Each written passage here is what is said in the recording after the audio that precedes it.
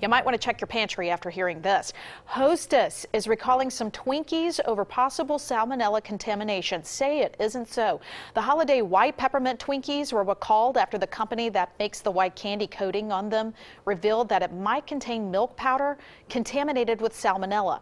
Well, the recall is voluntary, and that means no one has reported getting sick, and none of the Twinkies have tested positive for salmonella. If you have any of these Twinkies at home, you can take them back to the store where you got them and get a refund.